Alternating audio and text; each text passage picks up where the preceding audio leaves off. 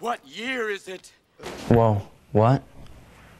12th, May, Thursday. What year? No. What year is it?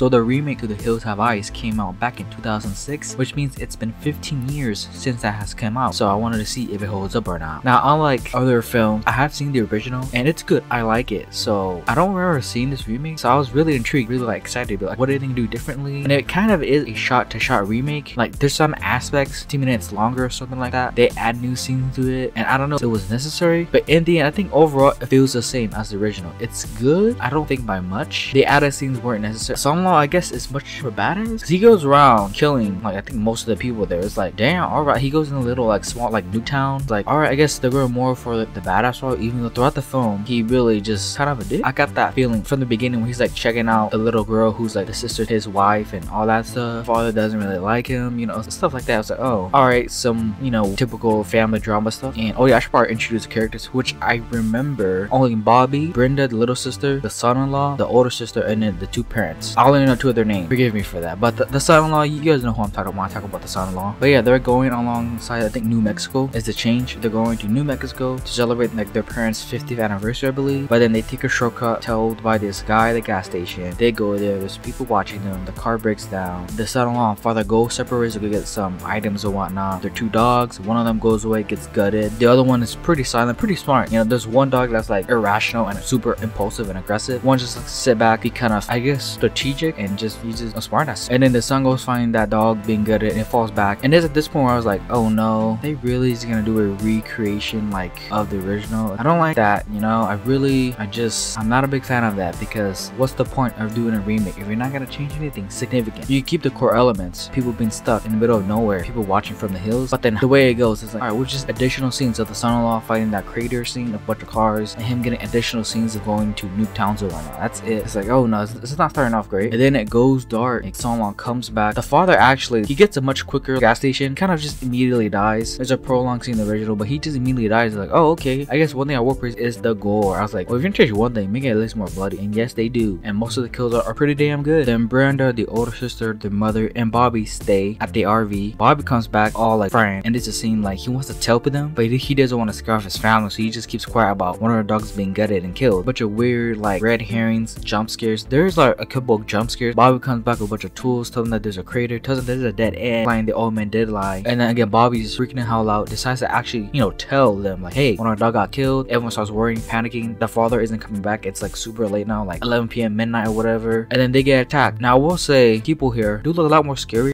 Oh,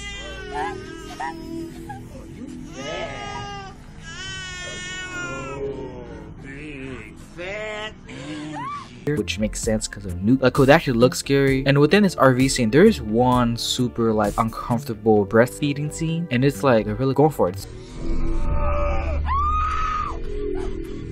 super uncomfortable, just kind of awkward. One of the mutated people kill the mother and the older sister. Also, at the same time, they hang their father on a tree, burning him. Now, they do use CG, which I don't get. Like, they should have just like done this practically, but for some reason, this was a creative choice or an executive choice. But they decided to use CG fire on the father, and it just took me out of it just for a bit, just being like, God damn it, you could have just done this practically. But either way, he gets burned alive, and he hears screaming from the RV. Mother and older sister dies. One thing I do like that the son-in-law, because of his laid back nature, he feels responsible for this because he's always like, he's that one person that's like, eh, that's just a noise in the wood. Don't worry about it. He's super laid back. That results in his wife dying, mother-in-law dying. And so this is his time to step up, basically. And I do like that, right? It's like, okay, this is time to step up and take, I guess, responsibility, try to brush everything off. This is his time to be like, all right, time to get shit done. The other dog, I actually don't know their name. Like, I think Beast or something like that. Either way, other dog, the hero grips one of the mutated people's arms off, gets the radio, and they listen to people talking. Son-in-law takes his dog with him to the nuke town, while Brenda and Bobby, they the RV to devise a plan to blow up the RV whoever mutated person comes. And like I said earlier before, everything feels kind of prolonged for not really no reason. I don't know why there was a prolonged scene of, again, son-in-law doing all that stuff, looking around. That wasn't really needed, but I guess it led to the whole like climax finale of him fighting big guy, right? The big mutated person, which is scary looking, but then he also gets that scene, he like chokes him to his neck, sticks something to his neck. That's